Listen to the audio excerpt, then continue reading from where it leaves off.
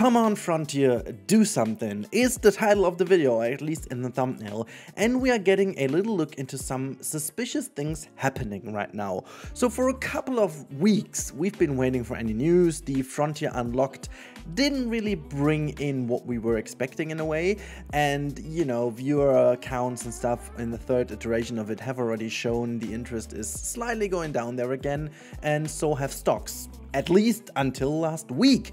So big shout out to Delay Designer, my wonderful friend. She um, kind of dropped me a message on WhatsApp and telling me, hey, uh, look, they were going up. Uh, do they know something we don't? And I was very curious about this. And then I thought about something that we knew was happening. So in this video, we are going through a couple of things that some of which we already knew, some of which we didn't knew, or maybe we didn't put the puzzle pieces together. And I believe we are very, very close to some announcement at least. But okay, let, us first of all structure a little, okay? So um, I first of all checked why this bump goes up. I mean, it's quite significant. I mean, have a look over here. You know, if you six uh, uh, look like into the last six months, or if you even go for a year, um, now let's let's go for a year. You can see the stocks were going all the way down, and of course there were sometimes just a couple of little things. For example, last October with a couple of DLC releases and stuff like that. But the overall trend was very negative, and then you know refocusing and stuff like that happened, and now this is the first rather significant and well it turns out to be rather steady growth, as you can see over here. It, it just kind of slightly showed already the end of March, but now it starts to go up. And you know what's interesting? It is at the very beginning of the new fiscal year in the UK. More about that in a second. It's it's becoming super important. And please follow me along because that's going to be uh, quite a good note that we are up to something over here. But anyways, I wanted to know a little bit more and so I went onto uh, onto the wonderful website of Google and just uh, typed in Frontier Dev stocks. yeah, I know that's a very very good search term. But um, very quickly I found this article, uh, Frontier Development shares up 16% on Atari sale news. And then I was like, hey, there's another thing I did talk to delay designer about and that is the actual, no, just just no, just don't, okay? Just block it, okay? Wow, what, what the heck? Um, all these advertisings over here. Um, actually, a couple of days ago, um, to be precise, not that many, like three days ago, there was the announcement that Atari buys back the Roller Coaster Tycoon 3 publishing rights for 7 million. Uh, dollars. So what, what does that mean? So Basically, as you know, Atari held already um, the main license for the name Rollercoaster Tycoon. However, Rollercoaster Tycoon 3, as it was developed solely by Frontier, um, they still earned the rights or held the rights to publish. And to be honest, Frontier did actually milk that cow quite nicely though. Um, they squeezed the Citroen out of, uh, you know, uh, every bit out of it um, with the release of the deluxe edition to Steam a couple years ago. And I think there's also some mobile realization of it for like um, the Nintendo. And so like really they, they did you know earn whatever they could with the brand and now selling it for 7 million got me thinking that is that is quite a decent price for a game um, that is very old indeed, uh, 2004, which means 20 years old, okay? Um, that is pretty, pretty dang old, and 7 million for a license, for a name. I mean, they solely get the license to republish this game, which, to be honest, they may earn a couple of euros with that, fair, but there is like no bigger deal in going so. However, the interesting bit in here is that Frontier now completely freed themselves from any connection to Roller Coaster Tycoon. Why is this interesting? Well, obviously, we are looking into a Planet Coaster 2. And the only reason why you would let go on a franchise that actually defined your studio is because you're confident in a new franchise. So Rollercoaster Tycoon 3 was already the kind of a I would like many people would disagree, but in in a way it was a part 2 of Rollercoaster Tycoon.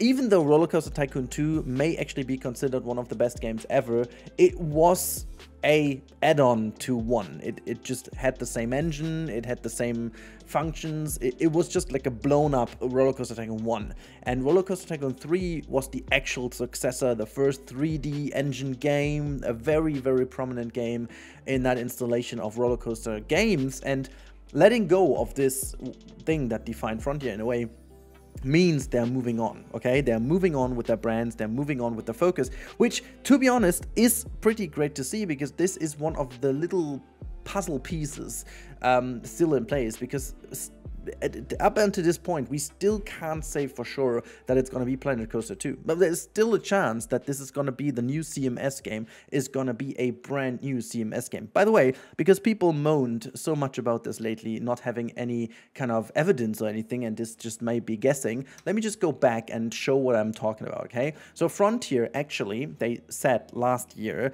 with all the layoffs and stuff, which still were pretty crappy and um, the, the, fact that they are hiring now again is also ridiculous. More about that at the end of the video. I want to keep that for last because it, yeah, well, we have to talk about that. Anyhow, Frontier actually said that they will be refocusing on uh, creative management simulation games, which we all know is Jurassic World Evolution and Planet Coaster, Planet Zoo, the Planet games. Now, what I mean, we already knew this, and um, we already knew that this will be in fiscal year 25, fiscal year 26, and fiscal year 27. However, this is only meant for the release of the game. This has nothing to do with anything else than, you know, that you could maybe uh, maybe see. Now, um, very interesting uh, is also that this spot over here is uh, reconfirmed. Also, by the way, just telling you, and this is what I meant before, the fiscal year in the UK, because that's different to some other parts of the world. The fiscal year in UK starts from the 6th of April to the 5th of April in the following year. So today, actually, is the day where the fiscal year 25 begins. It's it's the perfect timing for this video and it's also the perfect timing to actually know about the game. So um, we all thought, and they announced this in the very first Frontier Unlock, they said it's gonna be a new game in a way. There will be there will be talks about this new game. Well, they never talked about it other than you will be excited, which, well, thanks, I guess, but nothing else. And just going back to their uh, report, just to give you another little quick look onto that, um, you can see down here, this is even in the official Frontier report in there. It's not just a screenshot from Reddit.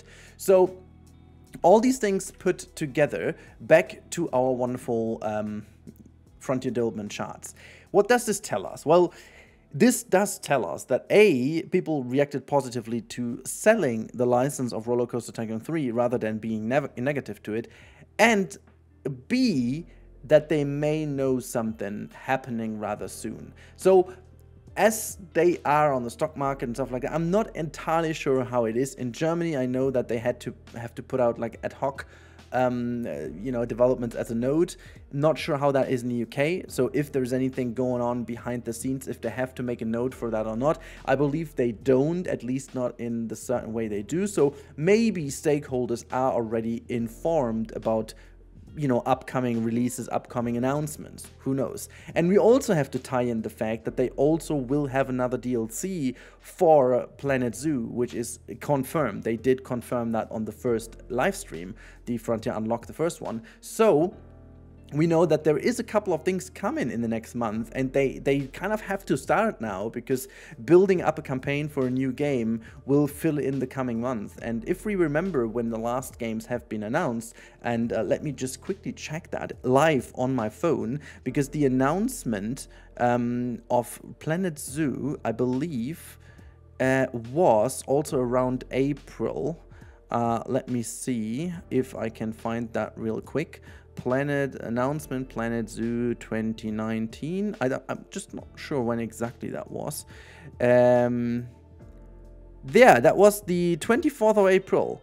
24th of April 2019, they did announce the upcoming Planet Zoo. So, meaning if we go by that, this would be in less than two weeks, um, which is actually pretty, or actually it's going to be in about two weeks, not less than, but whatever. Uh, you know, we, we are not even up to something. It is more or less like confirmed that this is going to be a very spicy next week. So I am very, very interested to what's coming next. And um, let me know in the comments down below how much you are looking forward to that. Because I am really, I'm sitting here every single day looking into my emails if I get any news about early access or whatnot. Uh, if I get any news about anything, I don't have anything, okay, before anyone has any idea because I'm accused of having access already to certain things. I don't. Uh, trust me, I don't. Um, so wow man i'm so much looking forward to that. I am craving a new planet game so badly. It's been a while since the last one. 2019 is now also some very good five years ago. And um, remember that between 2016 and 2019 was only three years in between. Now we've had five years in between. And um, planet zoo held up very nicely. And also the planet uh, zoo console release is another sign that things are changing. But we already knew that, so let's not go down too much. I promised to quickly talk about the layoffs, and um, this is kind of hilarious and very shabby at the same time. But if you go to the Frontier website and go to career, you'll find that they are looking for new people, especially community managers, which is. Um, you, you somehow can explain that um, in, for example, in the fact that Holly did leave them, which I guess was not due to the uh, layoffs, I assume at least, because Holly was still there with the Frontier Unlock and so on. Um, so I, I, do believe that this was more like a personal preference to move on, which um, always is, you know, I always respect that with people and wish them all the best. If they have the chance to do that upon themselves, is very great.